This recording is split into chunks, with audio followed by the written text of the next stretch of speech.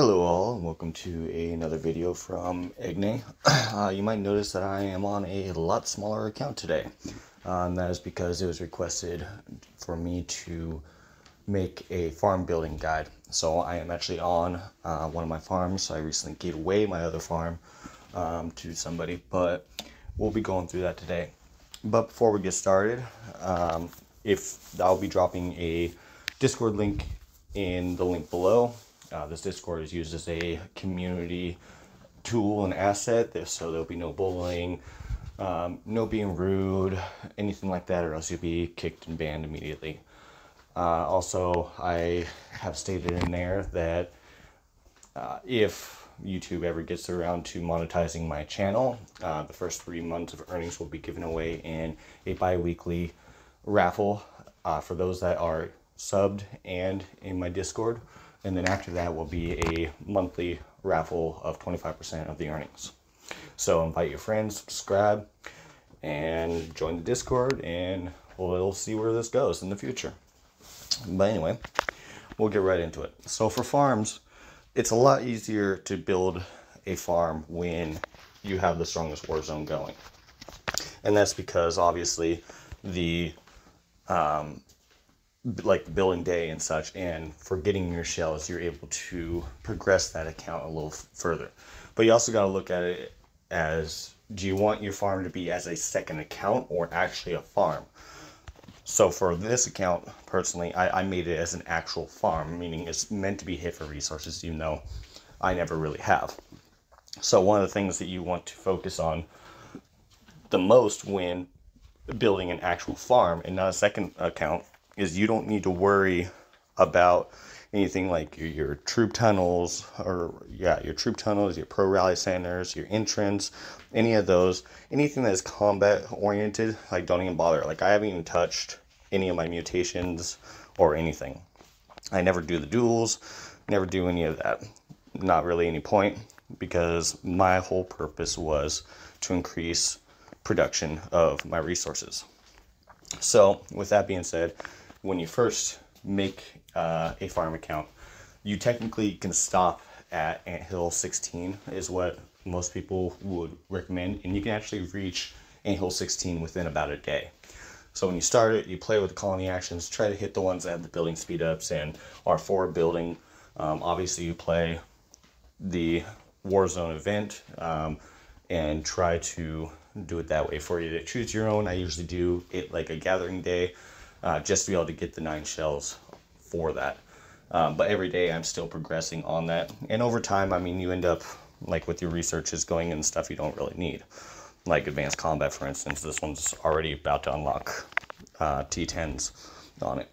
But for the researches, um, the rapid production and your anthill development are ones that you want to max out. And then zone development as well. I didn't really care about like the rapid hatch or the pack light because um, that's not the intentions of this farm. I just wanted to get down to the double points essentially. So that's what you're trying to look at when um, you're building a farm. Now, I personally took my farm to 25 uh, because I wanted to be able to have the more resources and such. Now, your farms, uh, as far as class, should always be either cultivator or herder. Herder when you're going to hit it because it has less resource production. Cultivator when you're doing like gathering days and such like that, um, just to be able to help you with more points. But so, but you really want to stick between the two of those. Um, of course, your marches, you want to make sure that you have um, enough ants to be able to fill like a level 8 tile. Um, that's also very important. Make sure you get your nine shells every day. Um, my farm, by the way, is also a carrier main, which it is what it is. Um, so yeah, you want to be able to try to up the tiles that you want to the max level. Um, so for like this one, I built it for producing sand. So all the all of the tiles are at 25. I've literally ignored everything else because this is not meant for combat at all. I might eventually I might play around and tinker on it to make it uh, into a combat account, but for now I'm not worried about that whatsoever. Uh, let's see. Now, of course, you're going to want to always keep it uh, shielded when, you know, you're not hitting it. Uh, having it in, in, an active alliance, uh, active alliance does help quite a bit. But like I said, your your main focus is going to be to be rushing that that anthill 16 at the beginning. So within about two hours of playing it, you should be able to hit anthill 8.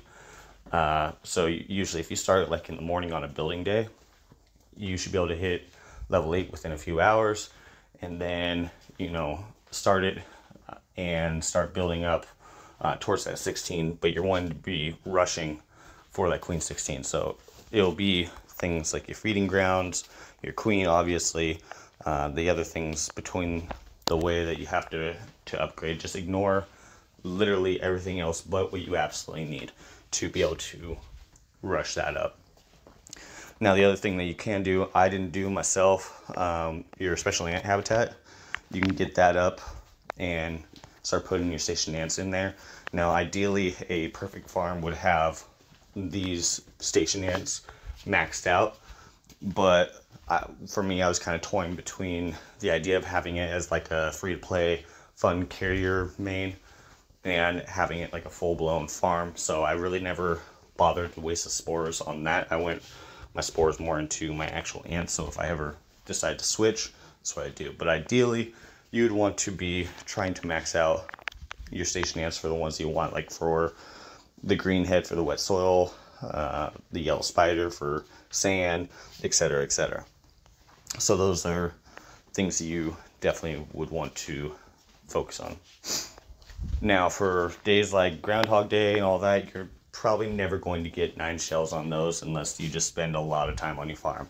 So I wouldn't even worry about that. Uh, the other days you can. I mean, I get nine shells on every other day. Uh, building day, I don't really bother because I'm not trying to use up my resources as it's there to be as a farm for everybody else because I don't even hit it myself.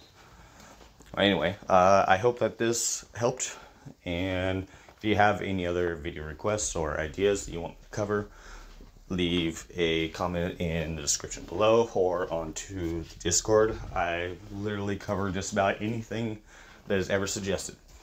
So if you have a question or if you want something covered, please don't hesitate to ask. Alright, sorry for the uh, short video, but Eagnai out.